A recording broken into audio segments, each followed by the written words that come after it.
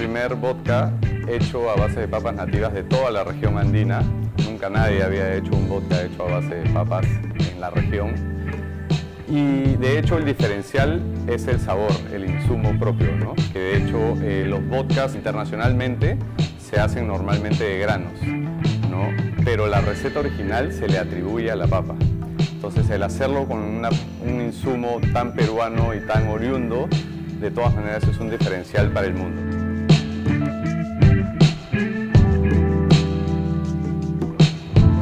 A la comunidad con la que nosotros trabajamos la conocí en una feria gastronómica en Lima, donde había justamente un pabellón donde habían comunidades paperas.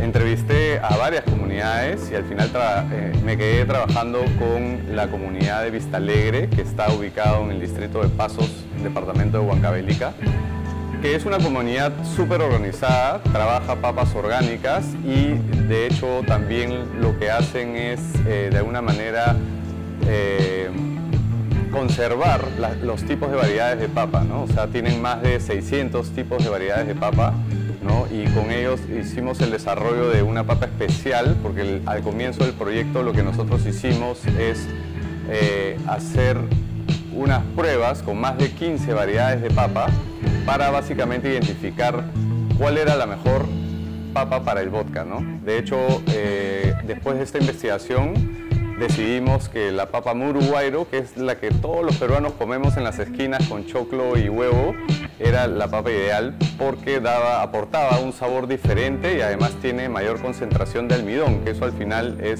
de alguna manera rendimiento al momento del proceso productivo. Comenzamos a comprar el primer año 15 toneladas, el segundo año 50 toneladas, ¿no? actualmente este año probablemente lleguemos a las 100 toneladas. Nuestras expectativas estaban más enfocadas en el comercio exterior y también se vio bastante afectado todo el 2020, se frenó, digamos, todas las negociaciones comerciales que veníamos teniendo y hoy en día ya se están reactivando, incluso también, bueno, sabemos que se cerraron todo lo que eran restaurantes, hoteles, bares y eso afectó muchísimo al tema del consumo del producto, ¿no? Hoy en día ya se está reactivando tanto el consumo en, locales como también eh, el tema de exportaciones, ¿no?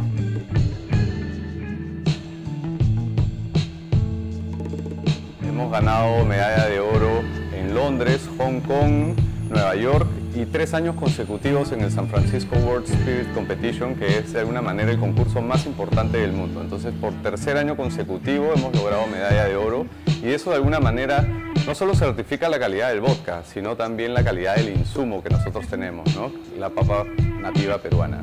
Bueno, yo motivaría a todos los emprendedores del Perú que participen del programa del Ministerio de la Producción y de Innovate Perú, Startup Perú, para de alguna manera recibir un capital semilla que eso les pueda servir para lograr esa idea sea realidad y poder de alguna manera sacar un prototipo o llegar incluso al mercado. ¿no?